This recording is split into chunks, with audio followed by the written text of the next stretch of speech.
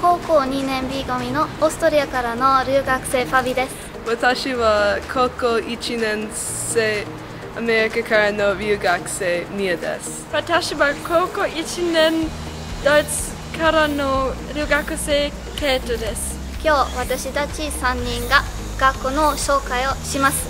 こんにちは。こんにちは。自己紹介お願いします。2年 A 組の藤原康平です。お願いします。お願いしますこの学で好きなところは何ですかこの学校は学年関係なくみんな仲いいから文化祭とか体育祭の行事ごとがすごい盛り上がるところが好きです Hi, could you introduce yourself please? Okay, uh, my name is Yuki Ida. Ah, what's your name? My name's Mia. I'm the American exchange student. Oh, nice to meet you, Mia. Nice to meet you. So what is your favorite thing about our school? Hmm, about school, I like school library the best. Oh, what kind of books do you like? Horror? yeah. Oh, I do too. Oh, really? That's great.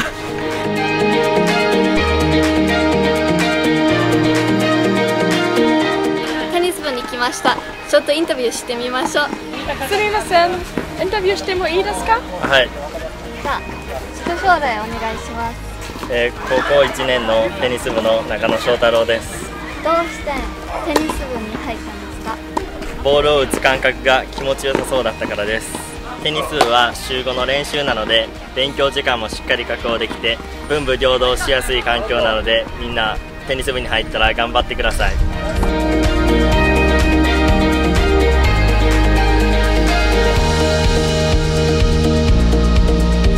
すみませんインタビューしてもいいですか？はい、じゃあ自己紹介お願いしまバスケ部の芦田ですすなんでバスケ部に入ったんですか？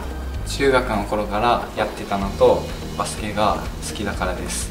毎日ハードな練習をしていますが部員みんな個性的で面白い部活なんでぜひ入ってください。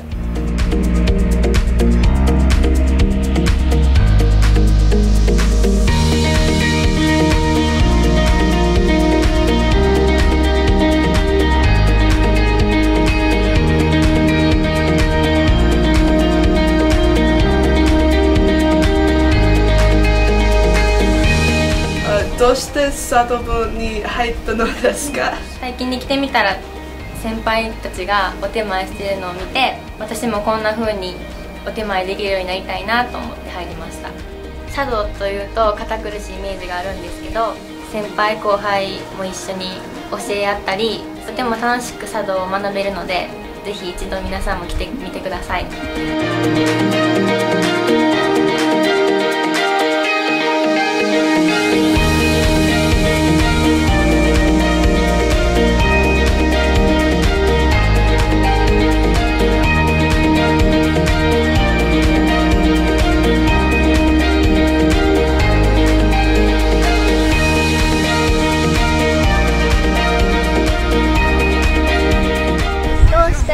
サッカー部に入ったのですか？6歳上の兄がこの高校でサッカーをしている姿を小学4年生の頃から見ていたので僕もこの高校でサッカーをしたいなと思って入りました。